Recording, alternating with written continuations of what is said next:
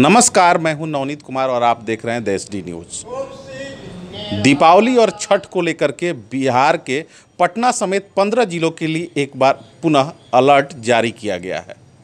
आशंका जताई गई है कि इन 15 जगहों पर आतंकी किसी बड़ी हमले को अंजाम दे सकते हैं।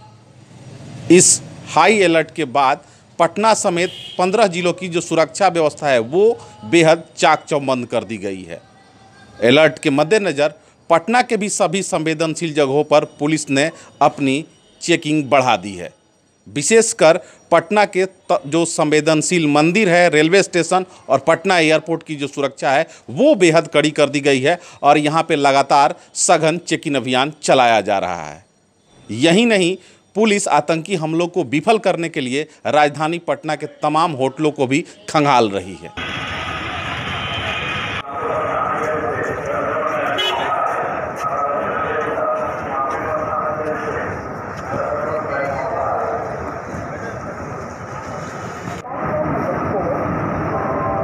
ठीक है ठीक है ठीक है ठीक है ठीक है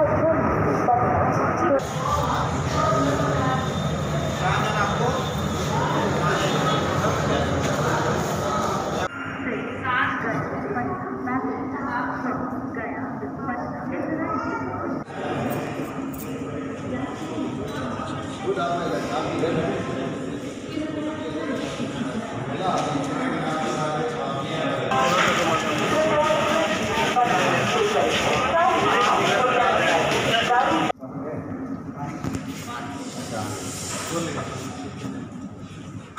आते हैं तो खोल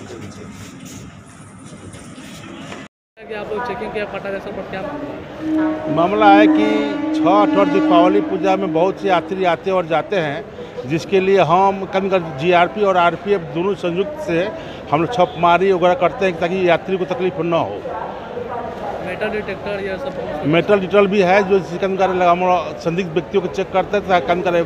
असामाजिक तत्व द्वारा कहीं बम न लगा जाए इसलिए हम लोग चेक करते हैं।